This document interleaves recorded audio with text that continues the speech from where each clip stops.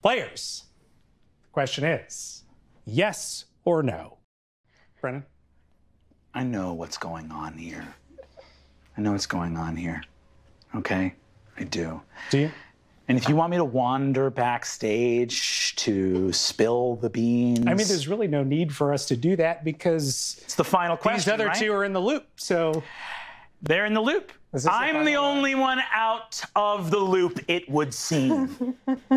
and if we check my point total here, I don't need to walk to the front because I know what it is. It's a big old goose egg, gang. It's a fat zero. Hello, a little late addition to the numerical symbol chart brought to us from our friends in Arabia. A little bit of trivia that I happen to know about the history of numbers. That kind of little tidbit would serve me well in most trivia games, unless it had been rigged from the beginning. Whoa, dude. Whoa, dude. Oh, we've only just begun to pull the thread on this sweater, friends. You would think in a game where there were only two possible correct choices that one would stumble into the right answer every so often, wouldn't you? In fact, the probability of never guessing right in the full game is a statistical wonder. And yet, here we are. Introduced at the top of the game as a champion, what do you think that means?